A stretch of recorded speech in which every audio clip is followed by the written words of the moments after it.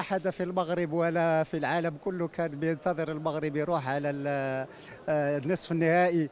إحنا لما تخطينا عتبة الثمن النهائي يعني في المرة الثانية كانت الفرحة كثيرة جدا ولما رحنا على الربع كانت الفرحة أكثر ولما اليوم بنلعب آه، آه، نصف النهائي زادت الفرحة في المغرب وفي شعوب المغرب. العالم العربي كله وفي أفريقيا كلها أنا شفتها شفتها من منذ تقريبا بداية ال- ال- الورد كاب كنت في مصر منذ تقريبا 20 يوم كلما ربح المغرب أشوف آه، يعني المصريين بيخرجوا بيهتفوا وبيفرحوا للمغرب ويشجعوا وأكيد اليوم أن كل المصريين بيشجعوا آه، المنتخب المغربي. الحقيقة شايف آه، حاجة جميلة جدا حاجة ما حصلتش قبل كده الكوره بتجمع الشعوب شايف آه، نجاح عربي آه، نتمنى نكون آه، كلنا فيه.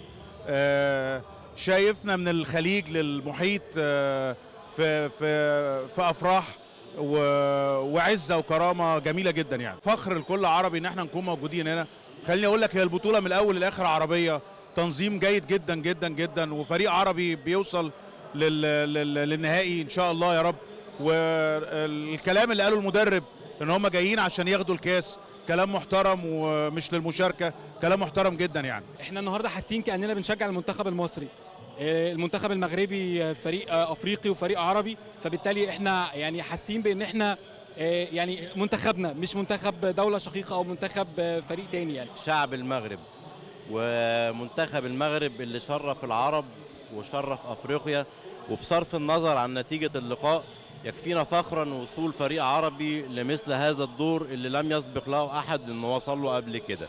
فتحية كبيرة جدا لدولة المغرب ولعيبة المغرب والمنتخب المغرب الشقيق. كان أداء رائع من أول المباريات من النهائيات الأولى وهذا ناتج على يعني عمل جاد كانت عمل من قبل وكذلك استثمار في بنية تحتية رياضية مهمة اللي عملها المغرب واللي استقطب لها كل اللاعبين المتألقين سواء في أوروبا أو الدول العربية وهي اللي عطات هذه النتيجة هذه اللي وصلت المنتخب المغربي بتالق للربع النهائي. وبالمناسبة عايز أشكر كل زملائي المصريين والشعب المصري اللي ساند بشكل كبير المنتخب المغربي وكانوا يعني متضامنين بشكل كبير وده واضح وبيبين وحدة الأمة العربية. وعايز أقول لهم إنهم ما يفقدوش الأمل. آه، المرتبة الثالثة أحسن من الرابعة. ويكونوا دائما فوكسين على الأحسن. كده إن شاء الله في المباريات بتاع 2026 يوصلوا للنهائي إن شاء الله.